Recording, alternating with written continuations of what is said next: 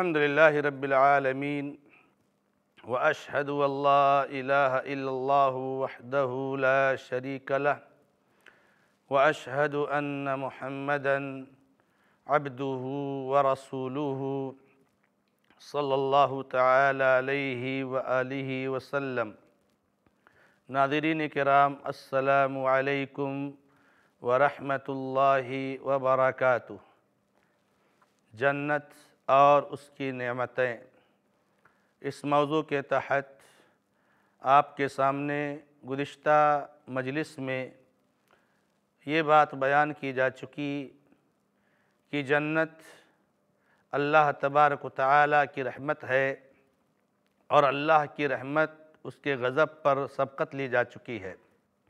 और जन्नत को अल्लाह तबारक ताली ने पैदा किया है और अल्लाह पैदा कर चुका है, उसकी तफसीलात को अल्लाह ने कुरान में बयान फरमाया, हदीसों में बयान फरमाया, हमें उसे मिन व अन तस्लीम करना है। जन्नत की नेमतें बयान करने का मकसद एक मुसलमान जन्नत की अज़मत को, उसकी कदर को, कीमत को समझे, ताकि उसको हासिल करने की मेहनत और मशक्क़त करे। नाजरन कराम अब हम आपको आगे ले चलते हैं।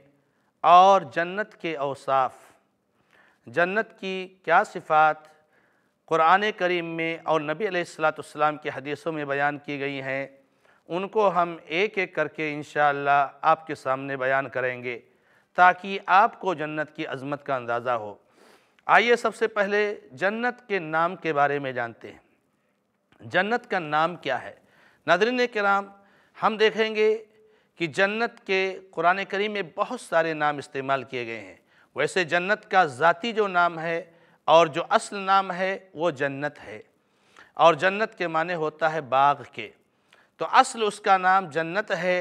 अल्लाह तबारक ताली ने कुरान करीम में कई बार उसको जन्नत के नाम से मौसूम किया है और ताबीर किया है और अल्लाह तबारक ताली ने उसको उस नाम से ज़िक्र किया है और अल्लाह के नबी अलैहिस्सलाम ने हदीसों में भी बार बार जन्नत का तस्करा फरमाया है।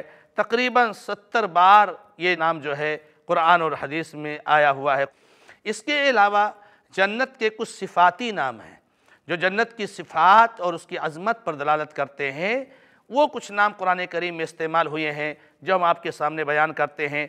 सबसे पहला नाम जो आपके सामने ज़िक्र करना चाहता हूँ, जो कुरान करीम में इस्तेमाल हुआ है, जन्नत को दारुस्सलाम कहा गया है। दारुस्सलाम, यानी सलामती का घर। चुनानच अल्लाह ताला ने सूर यूनुस आयत नंबर 25 में इशात फरमाया, वल्लाहु यदउ इला दारिस्सलाम।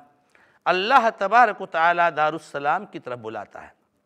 अल्लाह सारे इंसानों को दारुस्सलाम की दावत देता है कि आप लोग ऐसे अमल करो जो आपको दारुस्सलाम में दाखिल कर दे। तो अल्लाह ने यहाँ दारुस्सलाम कहा और दारुस्सलाम से मुराद जन्नत है। इसी तरीके से जन्नत का एक नाम दारुल मुत्तकीन है। यानी मुत्तकियों का घर। मुत्तकियों का घर, ज़ाहिर सी बात है, जो अल्लाह के मुत्तकी बंदे हैं, तकवा वाले बंदे हैं, उन्हीं का जन्नत घर है। अल्लाह ताला ने फरमाया, वाला ने दारुल मुत्तकीन। कितना बेहतरीन मुत्तकियों का घर है सूरतुलनहल आयत नंबर तीस। तो जन्नत का एक नाम दारुल मुत्तकीन है। इसी तरह से जन्नत का एक नाम दारुल करार है। दारुल करार, यानी करार की जगह, ठहरने की जगह रहने की जगह। अल्लाह तबारक ताली ने फरमाया, व इन आखिरत हिया दारुल करार। आखरत ही दारुल करार है। इसी तरीके से जन्नत का एक नाम कुरान में मकाम अमीन बताया गया है। मकाम अमीन यानी अमन की जगह। है अल्लाह तबारक ताली ने फरमाया इन फ़ी मकाम अमीन। बेशक मुत्तकी लोग मकाम अमीन में होंगे सूर दुखान आयत नंबर इक्यावन में। इसी तरीके से जन्नत का जो पाँचवा नाम यहाँ पर मैंने ज़िक्र, मैं ज़िक्र रहा हूँ, वो दारुल आखिरा है, आखिरत का घर। अल्लाह तबारक ताली ने फरमाया वलदारुल आखिरती खैरुल्लदीन तक़ो। आखिरत का घर, यानी जन्नत, ये बेहतर है उन लोगों के लिए जिन्होंने तकवा इख्तियार किया। सुर यूसुफ, आयत नंबर 109 इसी तरीके से जन्नत का छठा नाम जन्नतुन्नईम अल्लाह ताला ने फरमाया, यानी नेमतों भरी जन्नत। चुनाच अल्लाह ने फरमाया फ़ी जन्नातिन नईम. ये अल्लाह के करीबी बंदे नेमतों से भरी जन्नतों में होंगे, सूरतुल वाक़या, आयत नंबर 11 और 12 तो यहाँ पर अल्लाह ने जन्नत को जन्नतुलनईम कहा। इसी तरीके से जन्नत का सातवां नाम है, जन्नत अदन है। उलाइकलहम जन्नत अदन तजरी। इन, इनके लिए जन्नत अदन है, सदाबहार जन्नतें हैं। सूरतुल कहफ आयत नंबर इकतीस। इसी तरीके से जन्नत का आठवां नाम है, दारुल खुल्द। दारुल खुल्द के माने हैं नाजरीन के कराम, हमेशा रहने का घर। इसलिए कि जो जन्नत में चला गया, वो हमेशा, हमेश जन्नत में रहेगा, कभी जन्नत से निकलेगा नहीं। अल्लाह ने फरमाया फ़ीहा दारुल खुल्दी। उनके लिए उसमें दारुल खुल्द है सूर्य हामीम सद्दा आयत नंबर 28 इसी तरीके से जन्नत का नवा नाम है दारुल मुकामा दारुल मुकामा यानी सुकूनत इख्तियार करने का, अबदी सुकूनत इख्तियार करने का जो है मकाम और उसकी जगह। अल्लाह ने फरमाया अल्लदी मिन फजली ही नहीं, जन्नती कहेंगे कि वो अल्लाह जिसने हमको इस दारुलमकामा में ला करके रखा है अपने फजल करम एहसान से। सुर फातिर आयत नंबर पैंतीस। जन्नत का दसवां नाम जन्नतुलमावा है। इन दहा जन्नतुलमावा ठिकाना की जन्नत। यानी उसी के पास जन्नतुल मावा है सूर नजम, आयत नंबर पंद्रह। इसी तरीके से जन्नत का ग्यारहवा नाम है जन्नतुल फिरदौस, जो जन्नत के सबसे आला दर्जे का नाम है। इन लदीन आमनु व अमिलसालहाती कानत लहम जन्नातुल फिरदौस नज़ुला। यानी सूर्य कहफ की आखिरी आयतों में से कि जो लोग ईमान लाए और अमले सालेह किए उनके लिए जन्नतुलफ़िरदौस बतौर जगह के, बतौर घर के, बतौर ठिकाने के होगी और उनका ठिकाना, उनका घर और उनकी जाए रहाइश, ये जो है जन्नतुलफ़िरदौस होगी। तो नाजरीन कराम, ये जन्नत के मुख्तलिफ़ नाम हैं, उसके सिफ़ाती नाम हैं, जो अल्लाह ताला ने कुरान करीम में इस्तेमाल फरमाए हैं और उसके अलग अलग सिफ़ात से लेकर के उसका नाम रखा गया है, जो ग्यारह आपके सामने ज़िक्र किए गए और बताया गया कि जन्नत का असल नाम, असासी नाम और उसका ज़ाती नाम जन्नत है। और अल्लाह ताला उसका तस्करा फरमाया है। आइए दूसरी बात जो आपके सामने हम ज़िक्र करना चाहते हैं इस मजलिस में, वो जन्नत की शान है। जन्नत की शान बहुत अजीम है। जन्नत की शान बहुत अजमत वाली शान है। जन्नत बहुत बड़ी चीज़ है। जन्नत का मकाम बहुत ऊँचा है। जन्नत की शान सबसे पहले नंबर पर जन्नत की नेमतों और ख़ूबियों का बयान करना और इस दुनिया में उन्हें समझना हती कि उनका तस्वुर करना भी मुमकिन नहीं। जन्नत तो इतनी बड़ी चीज़ है कि जन्नत को हम बयान भी नहीं कर सकते, उसका तस्वुर भी नहीं कर सकते हैं। हमारी नज़रें, हमारी अक्ल, हमारी समझ, हमारा दिमाग उसको कैच नहीं कर सकता। इतनी बड़ी जन्नत है और उसकी शान इतनी बड़ी जन्नत है। अनसाद सालिम साद सैद रज़ी अल्लाह से रवायत है। कहते हैं कि मैं रसोल्ला वसलम के हाजिर था।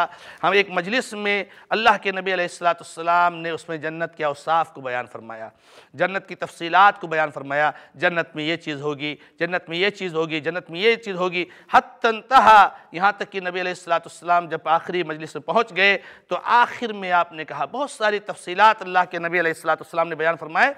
आखिर में आपने कहा फ़ी हमाला आइन रात वला उदन समियत, वला ख़तरा अला कल्ब बशर। कि अल्लाह के नबी ने बहुत कुछ तफसील बयान करने के बाद फरमाया, जन्नत में तो ऐसी चीज़ होंगी जिनको कभी किसी आँख ने देखा नहीं होगा, कभी किसी कान ने सुना नहीं होगा उनके बारे में और कभी उनके दिल में खटका भी नहीं होगा। यानी ऐसी चीज़ सोच भी नहीं सकते हैं। फिर नबी वसल्लम ने आयत करीम तलावत फरमाई, ततजाफ जुनूबमदाजी यदून रबहम खौफ़म वतमा उम्मा रज़क़नाहुम युनफ़िकून फ़ला तलम नफ़्सुम्मा उख़फ़ी लहुम मिन क़ुर्रत आयुन जज़ा बिमा खानु यामलून अल्लाह ताला इस आयत करीमा में सूर्य सद्दा की आयत है, जो सूर्य सद्दा रोज़ आना हर जुमा को फजर की नमाज़ में पढ़ी जाती है। उसमें अल्लाह ने फरमाया है, मोमिनों के बारे में, ततजाफ़ जुनूबनमदाजी उनके पहलू अपने बिस्तर से अलग रहते हैं इन रातों में जाकर अल्लाह की इबादत करते हैं। यदून रब हम खौफ व तमा अपने रब से, उम्मीद से भी और डर से भी दोनों से दुआ करते हैं, इबादत करते हैं, पुकारते हैं, और जो कुछ अल्लाह उनको देता है उसको खर्च करते हैं। अल्लाह ने फरमाया, फ़ला तलम नफसुन मा उख्फी लहम किसी नफ्स को मालूम नहीं, किसी इंसान को मालूम नहीं, किसी नबी को, किसी वली को, किसी शहीद को, किसी बुज़ुर्ग को, किसी मोमिन को नहीं मालूम है। अल्लाह ने क्या उसके लिए तैयार कर रखा है? क्या क्या चीज़ें अल्लाह ने आपके लिए छिपा कर रखी हैं? माँ उफ़ी मिन कुर्रत आयुन। जो आपकी आँखों की ठंडक बनेंगी, ये आपके अमाल का बदला है। इस हदीस का मुस्लिम रहमहुल्ला ने किताब बदल खल्क में बाबू मा जाफ़ी सिफ़तलजन्ना में ज़िफ़रमाया है। और अल्लाह तबारक ताली ने कुरान करीम में सूर काफ हर जुमा को पढ़ी जाती है। उसकी आयतें पढ़ी जाती हैं। अल्लाह ने फरमाया लहुमा यशाऊन फ़ीहा वलदईन मज़ीद। जन्नत में जो चाहेंगे वो मिलेगा और हमारे पास तो और ज़्यादा है। तो जन्नत की नेमतों का तस्वुर करना, जन्नत की नेमतों की तफसील बयान करना, ये इतनी बड़ी चीज़ है जन्नत कि यही नामुमकिन है, उसको बयान नहीं कर सकते हैं। अल्लाह उसके रसूल वसल्लम ने जो बयान किए हैं, वही हम आपको बता सकते हैं। इसी तरीके से जन्नत इतनी अजीम चीज़ है कि जन्नत में अगर एक छड़ी एक लकड़ी के बराबर या एक कमान के बराबर आपको जगह मिल जाए तो आपको मालूम होना चाहिए कि जन्नत की एक लकड़ी के बराबर, एक फिट के बराबर, एक मीटर के बराबर भी जगह और दुनिया में मौजूद सारी चीज़ों से अफजल है।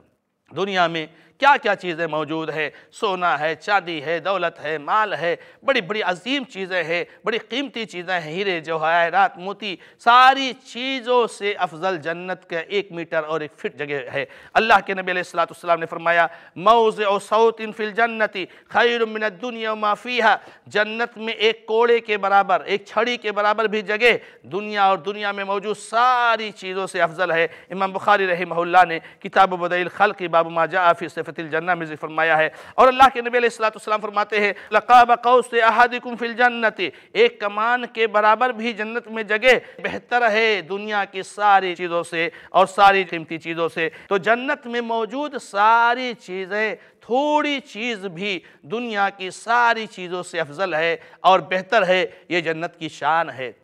ये जन्नत की अज़मत है, ये जन्नत का मकाम है, ये जन्नत की जो है, क्या नाम है, नेमतें हैं। इसी तरीके से जन्नत की नेमतों में से कोई एक नेमत नाखून के बराबर भी इस दुनिया में ज़ाहिर हो जाए तो ज़मीन व आसमान रोशन हो जाए। यानी जन्नत में जो अल्लाह ताला नेमतें अपने बंदों को देंगे, उन नेमतों में से एक नेमत अगर नाखून के बराबर ज़ाहिर हो जाए दुनिया में ज़ाहिर हो जाए तो दुनिया की सारी चीज़ें चमक उठाएँगी और रोशन हो जाएँगी। इतनी अजीम शान वाली है ये जन्नत। अल्लाह के नबी अलैहिस्सलाम फरमाते हैं सादिब नबी वक़ासदी अल्लाह रिवायत करते हैं कि नबी अलैहिस्सलाम ने कहा, अगर जन्नत की चीज़ों में से एक नाखून के बराबर कोई चीज़ ज़ाहिर हो जाए, जन्नत का खाना, जन्नत के शहद, जन्नत का दूध, जन्नत के पानी, जन्नत की नेमतें, कोई भी नेमत एक ना थोड़ा सा भी अगर दुनिया में आ जाए तो अल्लाह के नबी अलैहिस्सलाम फरमाते हैं ज़मीन व आसमान के किनारों के दरमियान जो कुछ है सबको रोशन कर देगा और सबको चमका देगा। ये जन्नत की शान है और जन्नत की अजमत है कि नाखून के बराबर भी जन्नत की नेमत दुनिया में बिल्कुल चमक और रोशन से भर देने के लिए काफ़ी है। इसी तरीके से जन्नत में जन्नती लोग जन्नत की नेमतों को देखकर खुशी से मर जाते अगर वहाँ मौत होती। जन्नती लोग जन्नत की नेमतों को देखेंगे और जन्नत की नेमतों को पाएँगे और जन्नत की नेमतों की उनको खुशखबरी दी जाएगी। इतना खुश हो जाएँगे, इतना खुश हो जाएँगे कि अगर वहाँ मौत होती तो खुशी में जन्नती लोग मर जाते। अल्लाह के नबी अलैहिस्सलाम ने फरमाया, क़यामत के रोज़ मौत एक चित्र कपड़े मेढे की शक्ल में जन्नत और जहन्नम के दरमियान खड़ी की जाएगी। मौत को एक चित कबरा मेढा की शक्ल में लाया जाएगा। मौत जिससे आदमी मरता है। इस मौत को क़यामत के दिन एक मेढे की शक्ल में लाया जाएगा, चितकबरे मेढे की शक्ल में, और जन्नत और जहन्नम के दरमियान खड़ा कर दिया जाएगा, और उसको जबाह कर दिया जाएगा, और जन्नती और जहन्नमी उससे लोग उसे देख रहे होंगे, और जन्नतियों से कहा जाएगा कि अब किसी को मरना नहीं, हमेशा हमेश तुमको जन्नत में रहना है, हमेशा हमेश इस ऐशो इशरत की ज़िंदगी में तुमको रहना है। अल्लाह के नबी अलैहिस्सलाम ने फरमाया, अगर वहाँ खुशी से मरना होता तो जन्नत वाले इतना खुश हो जाएँगे, इतना खुश हो जाएँगे जन्नत की नेमतों को पा करके कि वो खुशी से मर जाते। और अगर गम से भी मरना होता तो जहन्नमी इतना गमगीन हो जाएँगे, इतना फ़िक्रमंद हो जाएँगे कि अब उनको मरना नहीं है, हमेशा अदाब और सज़ाओं में रहना है तो जहन्नमी गम के मारे मर जाते। लेकिन जन्नत में ना मरना है, ना जहन्नम में मरना है, इंसान मर गया दुनिया में, उसके बाद अब कोई मौत नहीं है। तो नाजरीन कराम, जन्नत की नेमतें इतनी अजीम हैं कि उसको पा करके जन्नती इतने खुश हो जाएँगे कि अगर वहाँ मौत होती होती तो खुशी से मर जाते। जन्नत की खुशबू चालीस साल की मसाफत से आती है। अल्लाह के नबी अलैहिस्सलाम की हदीसें इस ताल्लुक़ से मौजूद हैं कि जन्नत तो जन्नत है और जन्नत में दाखिल होने के बाद जो नेमतें मिलेंगी, वो तो दाखिल होने के बाद मिलेंगी। जन्नत इतनी अजीम है कि जन्नत के बाहर से ही उसकी खुशबू 40 साल की मसाफत से आती है। यानी 40 साल जन्नत की मसाफत बाकी हो, एक आदमी को चलते चलते 40 साल तक वो जन्नत पहुँच सकता है तो वहाँ से उसकी खुशबू आने लगती है, उसकी महक आने लगती है और उसका असर उसको जो है, क्या नाम है ज़ाहिर होने लगता है। अल्लाह के नबी अलैहिस्सलाम ने फरमाया, व इन लतूजदुम मसीरत अरबईन आमा। अल्लाह के नबी अलैहिस्सलाम ने फरमाया कि उसकी खुशबू जो है चालीस साल की मसाफत से पाई जाती है। इतनी अजीम शान है जन्नत की और इतनी अजीम चीज़ है जन्नत कि 40 साल की दूरी से ही उसकी खुशबू को महसूस किया जा सकता है। इसी तरीके से नजरन कराम जन्नत की अजमत शान की एक जो है बात यह है कि जन्नत की तमाम चीज़ें दुनिया की तमाम चीज़ों से आला और अफजल हैं। जन्नत की चीज़ों का, दुनिया की चीज़ों से कोई मुजना नहीं है, कोई नस्बत नहीं है। उसकी सारी चीज़ें, सारी चीज़ों से अफजल है। अब्दुल्नबास अल्लाह तु से मरफू रिवायत है लई सफ़िल जन्नत शैन युशबहुमा फिर दुनियाती फिर दुनिया इल्लसमा जन्नत में कोई भी चीज़ ऐसी नहीं है जो दुनिया की किसी चीज़ के मुशाबे हो सिवाए नाम के। अगर कहीं नाम मिलता है तो इसका मतलब नहीं कि चीज़ भी वैसे होगी, कभी नहीं हो सकता। जन्नत की चीज़ बहुत अफजल होगी। मसलन दुनिया में सेब है, जन्नत में भी सेब होगी। दुनिया में दूध है, जन्नत में भी दूध होगी। तो इसका मतलब नहीं है जन्नत की दूध इसी तरीके से होगी जैसे दुनिया की दूध। बहुत अजीम होगी, बहुत अफजल होगी और बहुत अच्छी होगी वो चीज़ें। तो जन्नत की सारी चीज़ें, दुनिया की सारी चीज़ों से अफजल है। इस हदीस को इमाम अलबानी रहमल्ला ने सिलसिलतुल सहिया में दो हज़ार छः सौ अठासी में ज़िक्र किया है। इसी तरीके से जन्नत की शान इतनी अजीम है 이제 और इतनी अदमत शान वाली जन्नत है कि जन्नत की नेमतों को देखकर और जन्नत की खुशियों की एक झलक देख करके इस दुनिया में हमेशा मुसीबतों से परेशान शख्स दुनिया की सारी मुसीबतों को भूल जाएगा। ये जन्नत की शान है कि जन्नत की शान इतनी अजीम है कि जन्नत की एक झलक देखने के बाद जो दुनिया में हमेशा परेशान हाल था, हमेशा टेंशन में था, परे पैसे की परेशानी, सेहत की परेशानी, औलाद की परेशानी, जो है इस तरीके से दीगर मसाइल की परेशानी इतना परेशान हाल था, लेकिन एक झलक देखने के बाद दुनिया की सारी मुसीबतों को भूल जाएगा। चुनाच अल्लाह के नबी अलैहिस्सलाम बयान फरमाते हैं, इमाम मुस्लिम की बात करदा हदीस में किताब सिफ़ातुलमुनाफ़िकीन बाबुन फिल कुफ़ार कि अल्लाह के नबी अलैहिस्सलाम कहते हैं, क़यामत के दिन एक आदमी को लाया जाएगा, जो दुनिया में बहुत ही ज़्यादा परेशान हल होगा, बहुत टेंशन और गम में रह रहा होगा, और उसको लाया जाएगा और पूछा जाएगा कि मेरे बंदे, बता तूने दुनिया में कभी खुशहाली देखी है, कभी खुशी देखी है? कहेगा अल्लाह मुझे कभी खुशी हासिल नहीं हुई। मैं हमेशा टेंशन में था, गम में था, हमेशा फ़िक्र में था, परेशानी में था, मुसीबतों में था। अल्लाह ताला उसको कहेंगे, जन्नत की एक झलक दिखा करके लाओ। जन्नत की एक झलक देख करके आएगा तो उसके बाद अल्लाह ताला पूछेगा, क्या तूने दुनिया में कभी तकलीफ़ देखी है? वो अल्लाह का बंदा कहेगा, कभी दुनिया मैंने तकलीफ़ नहीं देखी है। जन्नत की एक झलक देखने के बाद दुनिया की सारी मुसीबतों, परेशानियों को भूल जाएगा। इसी तरीके से जन्नत की शान इतनी अजीम है कि जन्नत की नेमतें देख कर अहले जन्नत बहुत हसरत करेंगे। बहुत अफसोस करेंगे अपनी दुनियावी ज़िंदगी पर कि काश कि हमने और नेकियाँ की होती, काश कि हमने और अल्लाह तबारक ताली की बात की होती। चुनाच अल्लाह के नबी अलैहिस्सलाम फरमाते हैं कि माद रदी अल्लाह तु रवायत करते हैं कि जन्नत वाले जितनी हसरत करेंगे, जन्नत को देखने के बाद दुनिया की ज़िंदगी पर उतनी जो है किसी और चीज़ पर नहीं करेंगे। कहेंगे, काश कि हमने अल्लाह का ज़िक्र और किया होता, अल्लाह को और याद किया होता, अल्लाह की इबादत और की होती तो इस तरीके से जन्नत वाले हसरत करेंगे। तो ये जन्नत की अजमत शान के अवसाफ उसकी शान, की अजमत पर दलालत कर रहे हैं। और जो है क्या नाम उसकी नेमतें कितनी अजीम है, इस पर दलालत कर रहे हैं, जो आपके सामने बयान की गई है। अब इसके बाद हम आपके सामने जन्नत की कुछ तफसीलात बयान करते हैं। और जन्नत कितनी अजीम शान वाली है, उसके बाद मज़ाहिर आपको बयान करते हैं, जो कुरान और हदीस में अल्लाह तबारक ताली ने नबी अलैहिस्सलाम के ज़रिए बयान फरमाया है कि जन्नत की जो है क्या नाम है तफसीलात क्या है। उन तफसीलात को आप सुनिए और देखिए कि जन्नत की कितनी अजीम तफसीलात है और किस तरीके से अल्लाह ताला ने इस अजीम जन्नत को बयान फरमाया है? सबसे पहले नंबर पर हम आते हैं, जन्नत की उसात। यानी जन्नत कितनी बड़ी है और जन्नत की कुशादगी कितनी है? जन्नत कितनी कुशादा है? इसको आप तस्वूर कीजिए जो कुरान ने बयान फरमाया है। अल्लाह तबारक ताली ने फरमाया व सारी ओ इला मगफ़िरत रबिकुम व जन्नतिन अर्दुहसमावत वल अर्द। सूर आल इमरान, आयत नंबर एक सौ तैंतीस। अल्लाह ताला बयान फरमाते हैं, सानी बयान भागो अपने रब की मगफरत की तरफ़ और उस जन्नत को हासिल करने की तरफ़ जिसकी चौड़ाई आसमान और ज़मीन के बराबर है। आसमान की हद कहाँ तक है? इतने सारे वसाइल होने के बावजूद आज साइंसदान नहीं पहुँच सके कि आसमान की हद कहाँ तक है। आसमान से ज़्यादा कुशादा, ज़मीन से ज़्यादा कुशादा अल्लाह तबारक ताली बयान फरमाते हैं कि जन्नत है आसमान और ज़मीन के कुशादा जन्नत है। इसी तरीके से अल्लाह ने फरमाया, साबिक़ इला मगफ़िरत मिन रब्बिकुम व जन्नतिन अर्दुहा का अर्ज़ समा वल अर्द। तुम भागो अपने रब की मगफरत की तरफ़ और हासिल करने की कोशिश करो उस जन्नत की तरफ़ को और भागो उस जन्नत की तरफ़। उन अमाल को अंजाम दो तो जो है उस जन्नत की तरफ़ ले जाएँ, जो अल्लाह तबारक ताली ने तैयार की है, जिसकी चौड़ाई आसमान और ज़मीन के बराबर है। सूरतुल हदीद आयत नंबर इक्कीस में अल्लाह ने इसको बयान फरमाया है। जन्नत में सौ दर्जात हैं। अल्लाह के नबी सलाम की हदीसों से मालूम होता है, जन्नत में सौ दर्जात हैं। कि नबी सलाम ने फरमाया, बेशक जन्नत में सौ दर्जात हैं। और हर दर्जा के बीच में आसमान और ज़मीन की मसाफत के बराबर मसाफत है।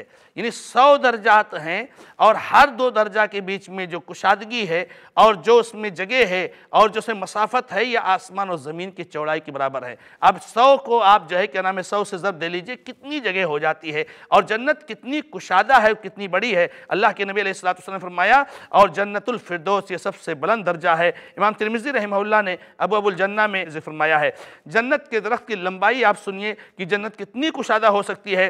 अबू रदी अल्लाह तु रिवायत फरमाते हैं कि अल्लाह के नबी अलैहिस्सलाम ने बयान फरमाया, बेशक जन्नत में ऐसी दरख्त है कि सवार आदमी उसके साय में अगर चले तो उसको सौ साल तक जो है, क्या नाम है, वो साय में चले तो वो दरख्त का साया ख़त्म नहीं होगा। ये दरख्त इतना बड़ा है जन्नत के, दरख्त की इतनी अजमत है, वो दरख्त इतने बड़े हैं कि सौ साल तक आदमी चले तो उसको तय नहीं कर सकता है। बुखारी रहमल्ला ने दो हज़ार उनचास नंबर पर इस पर फरमाया है। तो जन्नत में ये दरख्त की अजमत, फिर उसके सौ दर्जात और जन्नत की कुशादगी आसमान और ज़मीन से ज़्यादा, इसी तरीके से जन्नत में दाखिल होने वाला आखिरी शख्स जिसको कितनी वसी जो है ममलकत अता की जाएगी और उसको क्या अता किया जाएगा, उससे आप जन्नत की उसात का अंदाज़ा लगा सकते हैं कि जन्नत में दाखिल होने वाला आखिरी शख्स किस तरीके से जो है जन्नत में कितने अजीम, कुशादा जगह का मालिक होगा। चुनानचे अब्दुल्ला मसूद अल्लाह से रिवायत है कि अल्लाह के नबी सलाम ने फरमाते हैं, मैं सबसे आखिर में जहन्नम से निकाल कर जन्नत में दाखिल होने वाले को जानता हूँ। एक आदमी होगा जिसको अल्लाह तबारक ताली निकालेगा और उसको निकाल करके जन्नत में ले जाएगा और जब जिसको जन्नत में जाने के लिए कहेगा तो वो कहेगा, अल्लाह, सारे लोग तो जन्नत में जगह ले चुके हैं। अब जन्नत में जो है कहाँ जगह बची होगी? मैं कहाँ जन्नत में जाऊँ, सब लोग जन्नत में जा चुके हैं, मैं ही आखिर बचा था। अल्लाह तबारक ताली फरमाएगा कि तुमको कितनी जगह चाहिए, तुम क्या चाहते हो? तो अल्लाह तबारक ताली से कहेगा कि अल्लाह तबारक ताली कहेगा, क्या दुनिया के दस गुना जगह तुमको जन्नत में मैं दे दूँ तो तुम्हारे लिए काफ़ी हो जाएगा? दुनिया दुनिया, यानी आसमान और ज़मीन की उसात, ये पूरी दुनिया है। और इसके दस गुना जगह अल्लाह तबारक ताली ने फरमाया कि मैं तुमको दे देता हूँ। तो उस आदमी ने कहा कि अल्लाह तबारक ताली, क्या आप मुझसे मज़ाक करते हैं? आप बादशाह हैं। अल्लाह के नबी सलाम यहाँ पर हंसे। नबी सलाम के दांत ज़ाहिर हो गए। अल्लाह के नबी सलाम फरमाते, अल्लाह ने फरमाया, मैं मज़ाक नहीं करता हूँ, बल्कि मैं जो चाहूँ करूँ, मैं हर चीज़ पर कादिर हूँ। इमाम मुस्लिम रहमल्ला ने किताबुल ईमान में बाब इसबातिल जन्ना में इसको फरमाया है। आप सोचिए नाजरन कराम कि जन्नत की उसात कितनी बड़ी है कि यह शख्स जो जहन्नम से निकाला जा रहा है। यानी अपने गुनाहों की वजह से, अपने गलतियों की वजह से, अपने जो है, क्या नाम है, कोताहियों की वजह से इसको जहन्नम में डाला गया था। और जहन्नम में बहुत सारे लोगों को निकाला गया, इसको सबसे आखिर में जहन्नम से निकाला गया है। यानी बहुत गुनहगार शख्स था। तो ये जब जहन्नम में आया और सबसे आखिर में निकाला गया और इसको जब जन्नत में दाखिल किया गया तो अल्लाह तबारक ताली इसको कितनी जगह जन्नत में दे रहे हैं? दुनिया के दस गुना जगह उसको जन्नत में ता फरमा रहे हैं। ये सबसे आखिर में जन्नत में जाने वाले का मकाम है। तो अल्लाह के नबी सलाम को जन्नत में कितनी जगह मिलेगी? उसके बाद जो है साहब कराम को, उसके बाद दीगर अम्बिया को, उसके बाद मोमिन को, उसके बाद वो लोग जो जहन्नम में नहीं गए, उनको कितनी जगह मिलेगी? और जन्नत कितनी कुशादे जगह है? हमारी अकलें इसका तस्वुर नहीं कर सकती हैं, हम सोच नहीं सकते हैं, हमारी अकलों से इनका इदराक मुमकिन ही नहीं हो सकता है। तो जन्नत बहुत ही कुशादा जगह है, इसका कोई तस्वुर नहीं कर सकता है। ये अल्लाह के नबी सलाम की हदीसों से ज़ाहिर हुआ। और आपके सामने सामने मैंने जो है मुख्तलिफ़ नाहिए से इसको ज़ाहिर किया कि एक तो अल्लाह तबारक ताली ने इसको खुद कहा है जन्नत को कि आसमान और ज़मीन की कुशादगी से ज़्यादा कुशादगी वाली जन्नत है। जन्नत में सौ दर्जात हैं। हर दर्जा के बीच में अगर कोई चलने वाला चले तो आसमान और ज़मीन की मसाफत से ज़्यादा है और इस तरीके से जन्नत की कुशादगी है। अल्लाह तबारक ताली से दुआ है कि अल्लाह तबारक ताली हमें और आपको सबको इन बातों पर ईमान लाने की तोफ़ीदा फरमाए। हदमा इंदी अल्लाह तलम अलहमदिल्ला रबीआलमीन वसल महमद वसलम तस्लीम कसीरा।